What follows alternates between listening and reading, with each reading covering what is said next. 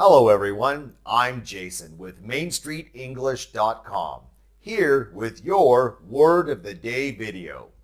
In this video, let's talk about and use the noun theory.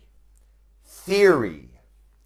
Theory is a fairly common word in English, and you might be familiar with it from phrases like Big Bang Theory, conspiracy theory, theory of relativity.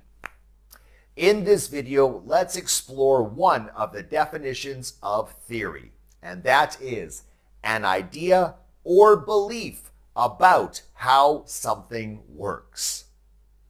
Let's practice using theory in a few sentences.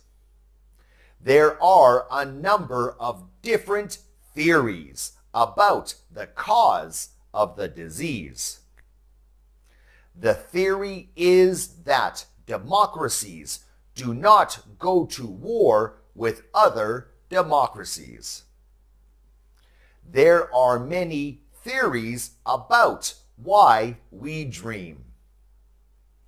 Look for opportunities to use the noun theory in your everyday English usage.